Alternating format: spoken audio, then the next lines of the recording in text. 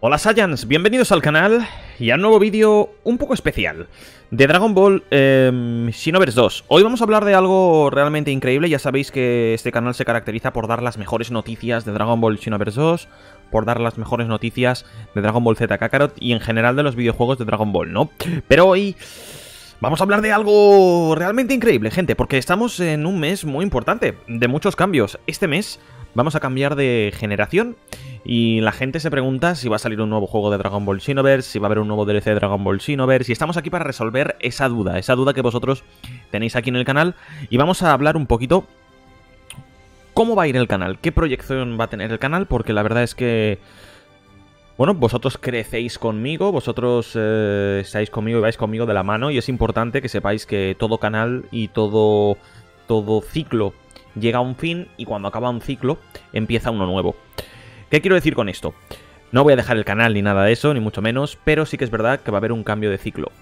Y he elegido una sección, un bloque que creo que puede ser bastante, bastante épico y puede funcionar muy bien con nosotros, ¿no? Antes de nada me gustaría pedir un like en este vídeo porque realmente es increíble y vamos a aclarar si realmente va a haber más contenido de Dragon Ball Xenoverse 2.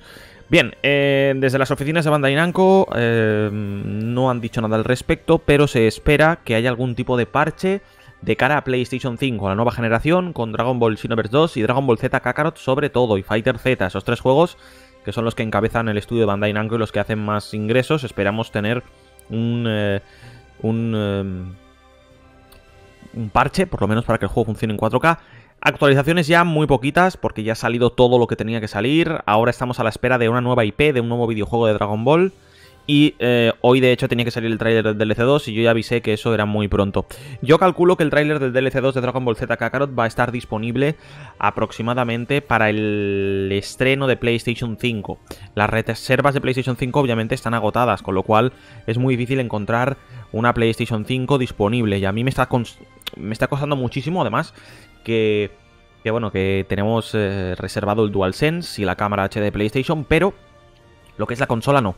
Por tanto, eh, tendré que pelearme el día 19 de noviembre para intentar conseguir una consola. Y quiero hablaros ahora mismo, eh, después de deciros que puede que haya alguna actualización, pero no será en formato de DLC, ya pasaremos a un nuevo videojuego de Dragon Ball. El que sí que recibirá actualizaciones es el Dragon Ball Z Kakarot, muchas más que el Xenoverse 2, es lógico, el Xenoverse 2 lleva desde 2016 cuatro años. La verdad es que este juego ha durado muchísimo y es hora de saltar a un nuevo videojuego.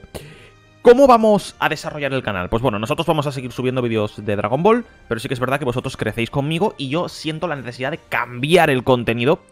Por eso es que no vamos a abandonar Dragon Ball, pero vamos a incluir en este canal secciones de tecnología. ¿Qué quiero decir con eso? PlayStation 5, vamos a hablar muchísimo de PlayStation 5, vamos a hablar muchísimo de Xbox Series X en la medida de lo normal, vamos a hablar de las consolas que tengo, os voy a enseñar las consolas que tengo, voy a realizar otro tipo de vídeos poquito a poco para que podamos hablar de la nueva generación. Yo he estudiado programación y me gusta mucho la informática, con lo cual eh, es algo que no conocéis mucho de mí y que no quiero centrar el canal del Dragon Ball, no quiero que la gente se desuscriba porque piense que no voy a que voy a dejar de subir Dragon Ball en absoluto. Hay muchos juegos de Dragon Ball que tengo que completar, como el Super Dragon Ball Heroes, como el Xenoverse 2. De hecho, tengo un montón de combates por ahí en Xenoverse 2 que vamos a completar, como el Dragon Ball Z Kakarot, como el Fighter Z. Tal vez Fighter Z menos porque me gusta menos, pero todo eso lo vamos a completar. Pero sí que es verdad que si crecéis, quiero que estéis bien informados y que, qué mejor que este canal para que podáis aprender y podáis vosotros seleccionar vuestra consola, pero que no os engañen, tener encima de la mesa todas las características técnicas, hablar de las generaciones, de las noticias de los videojuegos, porque si algo tenemos en común son los videojuegos. Y espero que en este paso y en este nuevo formato de vídeos que iré introduciendo una vez a la semana, para que podáis adaptaros. Una vez a la semana subiremos un vídeo de tecnología de PlayStation y Xbox y poquito a poco lo iremos comentando y creo que poquito a poco le podéis ir dando al botón de like y podemos crear una nueva sección de noticias de videojuegos, de videoconsolas y hablar un poquito de eso porque creo que lo que nos une es eh, el videojuego, aparte de Dragon Ball, somos fans de Dragon Ball, pero nos unen los videojuegos y eso hay que comentarlo, ¿no? Bien, eh, creo que ha llegado el fin de una etapa con Dragon Ball Xenoverse 2. Creo que ya es hora de que Bandai piense en un Dragon Ball Xenoverse 3 o en un nuevo videojuego de Dragon Ball, que estaría muy bien. El Dragon Ball Z Kakarot da, da como mucho para dos años y ya está. Yo dije que un año, pero dos años y ya está fuera el videojuego. Porque no tiene mm, toda la trascendencia que tiene el Xenoverse 2, ni tiene la infraestructura online. Han sacado hace poquito una actualización, pero no acaba, no acaba esa actualización.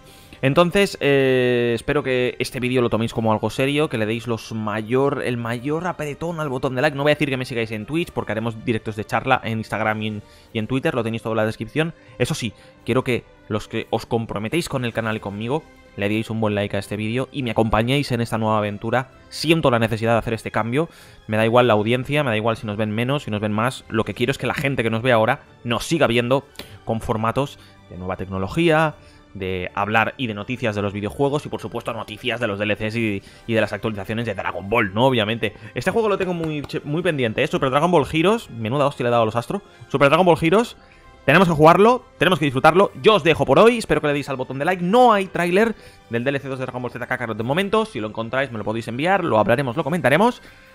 Y pronto enseñarán DLC 2, pero hoy me parece que no. Gracias por escucharme y hasta la próxima, Saiyans. Chao, chao.